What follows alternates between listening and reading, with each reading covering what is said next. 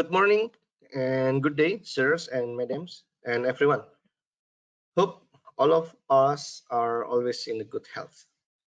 We are so glad to have this round of event and meeting you all in our webinar about Dynamics 365 Business Central and Power BI.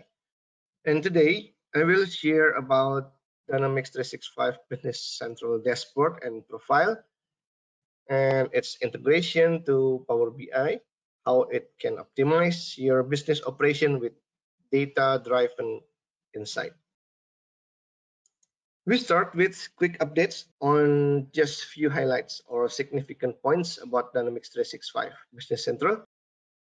Then we will continue with new updates in BC release 2023 wave 1 or version number 22. Our focus is on analysis mode and pivot view. Then after that, I will share about multiple Power BI boxes embedded in BC dashboard. Dynamics 365 Business Central on Cloud. This is a modern business application.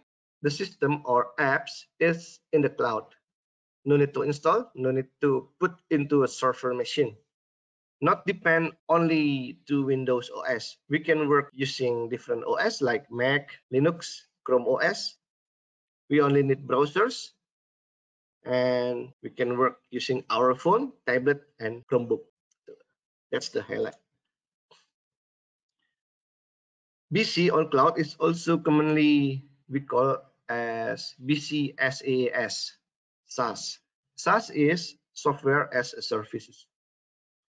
BC SaaS is a visionary business application and it is its ability to execute is ranked as the highest. BC is regularly and continuously updated with certain mechanism that it that it is pushed by Microsoft directly so that we are not left behind or stay on older version. As long as we have internet, always accessible and always connected. BC also collaborates with other Dynamics apps in the form of Data First. Dataverse is table or multiple tables in the cloud or to be specific in Azure, where the data can be shared among apps or application. So general data is interchangeable among Dynamics 365 application or Microsoft product ecosystem. Here, if you want to check further, you can start from this link here. We, we are sharing public information about Dynamics 365 Business Central you can also check a click guide, the preview of BC here. We can share with you later. We can give you the link after the webinar. Just get back to us and we will share you the link. We also have many YouTube videos to start with. There are a lot of videos here. This is the official playlist. Uh, please contact us after the webinar. We will share you all those links. Now, uh, once we subscribe to BC, we will have all these modules or capabilities, everything here. This is the full modules. We start subscribing, we get all this immediately, complete, covering all aspects of our business operational. We can start small, then grow because BC is very scalable.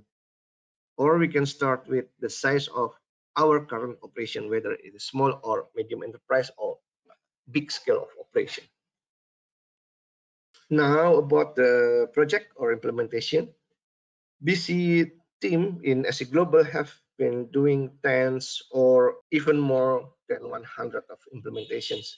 There are no easy implementation, but we have has a proven methodology called Accelerate.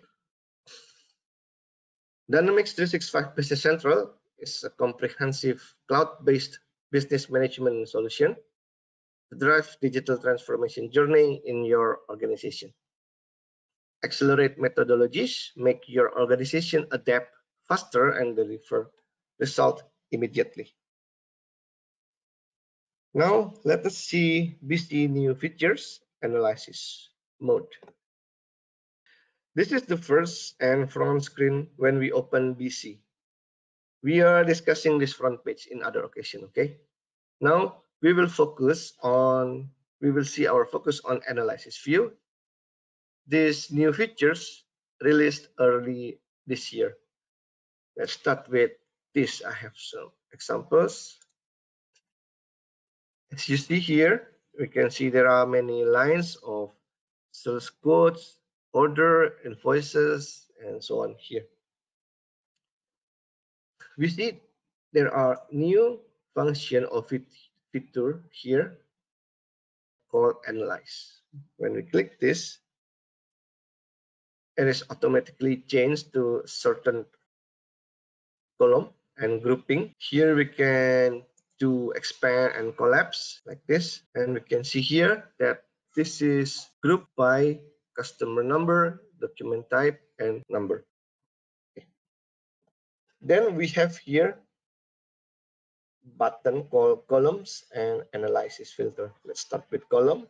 We can click this and we can do a pivot mode.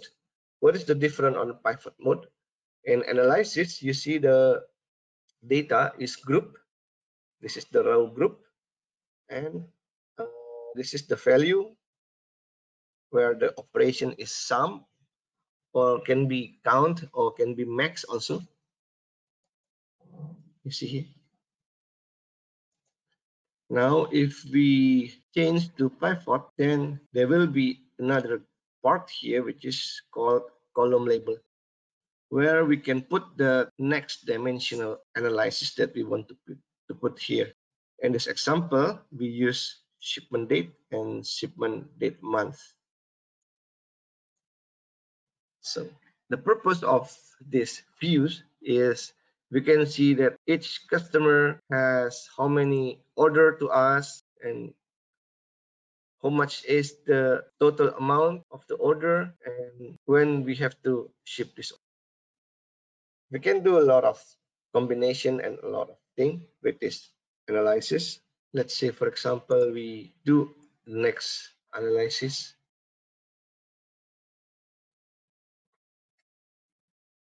We will do like this. We can group by type then we can group by can group by customer then we do pivot then group by document type. So we can see here that in each customer, how many invoice we have, how many order we have, and how many are still on quotes. Let's think perhaps uh, we consider quotes is not necessary to, to be calculated here. We can do filter, filter, click on document type, then uncheck on quote. So quote is gone. So now you can see that the data is built on invoice and order only. This is just one example on how we can uh, do with this analysis. We can say we can do also uh, rename this one like customer document type. So when we go back here at any time, this analysis is already saved. Now let's see another example. We have another data called purchase lines here. This is the raw data. We see all the list, then change to analyze. If you can see here, notice that there are no changes if we are not make any grouping here. So that's the purpose of analysis. We need to make grouping here so that uh, we can see more dimensional analysis on our data. Let's see by putting location here then maybe the second group is document types so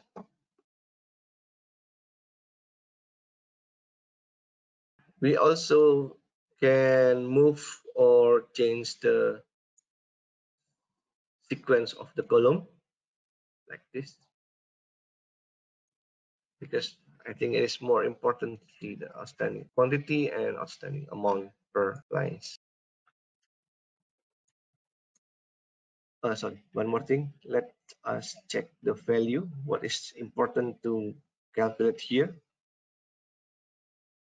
line amount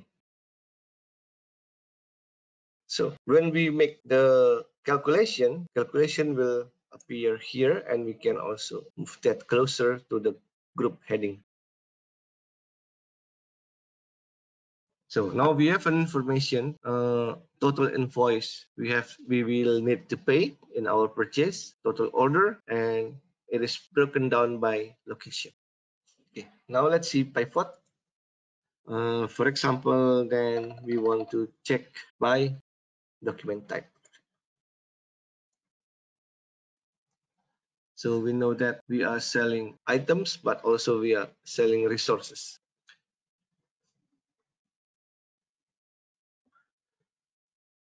Okay, well, this is one of the new features that BC has in the newest version. We can do anything like this in all the data inside BC Central. For example, customer ledger entry, vendor ledger entry, and general ledger entry, for example. This. So we have the sum per month, for example. So we can play around with whatever information that we need to, to have in this calculation. Okay, now this will works on one table only, one set of data. But normally in our operation, we will need to analyze more than that. We have more complex data to analyze altogether that has uh, many tables as the sources. So in many cases, this type of analysis also not sufficient for our operation. And BC has a solution also for that where we can have Power BI to process the data analysis with multiple data sources. In New Business Central, we can have uh, multiple boxes of Power BI. As you can see in the screen here, we can have one, two, three, four. So normally in standard BC, we can have, we only have one box, something like this, right?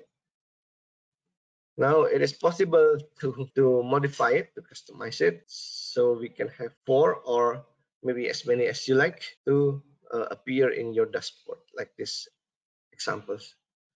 So if we are new to Power BI, we know that uh, once we subscribe to Business Central, it is automatically we have license for Power BI as a viewer. So we can view also Power BI like this one. This is another environment of Power BI and we can see that this is actually the source of our report. So it means that we need to design once in this Power BI, then publish it, then we can directly call from this box like this one. Select Power BI, then this is all the report that are available to call.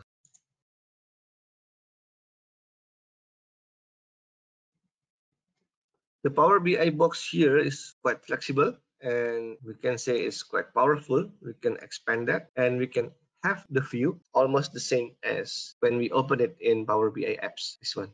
I have few examples here. For example, we have AR, receivable, how much amount of our money which are still in our customer. So for example, here we can click one and the pie chart is filtered. Click this one, the pie chart is filtered. Next thing that I have in my example here is uh, this this is the list of our products and this is the customer who are uh, buying that so we want to know uh, what product is normally bought by who so this is one example we can have a more complex report like this one let's expand the report So this shows uh, what is the top selling items in our business and who are the top five customer. This is a combined and this is the group. Okay, even more complex information like this one. So in this case, we are doing we are selling cars we have a service service center also and we want to, uh, what is the progress of our business we can filter by month like this one and you see the figure is moving, uh, depend on the month.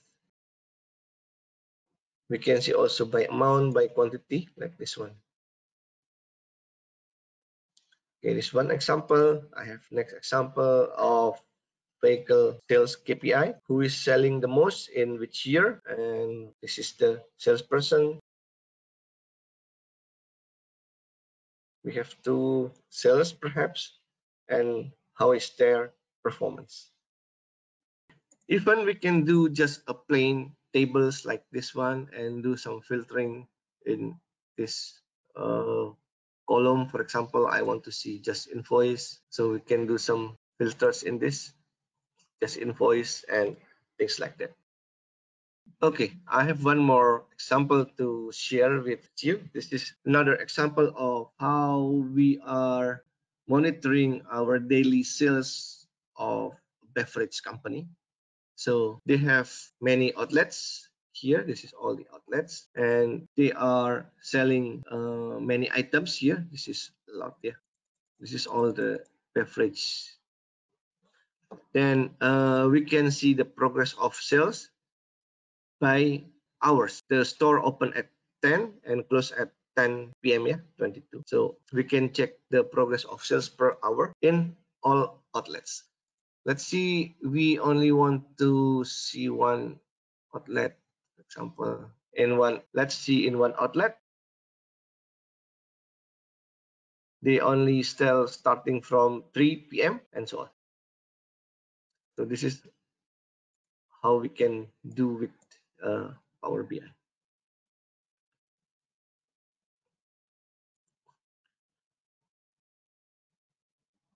Okay, that's more or less an idea. I mean, various ideas what we can do with Power BI. The limit is your imagination, and we can have many combination of chart, lines, bar, data, tables, and so on. Depends on our needs. But the most important thing is we need to plan what we want to see, how we want to analyze before we develop on the Power BI report. Because uh, the, the development of Power BI report itself can be simple or can be complex or difficult or even can be a nightmare if we are not clear with what we want to see, what we want to analyze, and how we want the report presented to us. Power BI is a powerful business insight tool that can extract your ERP data into visualization that tells story about your company's business. We have done many Power BI projects in all scales, connecting to various Dynamics 365 applications. We are very experienced and have a proven methodology to deliver a successful project to your organization. With our broad and deep experience, we are most capable of sharing the best practice in developing Power BI reports.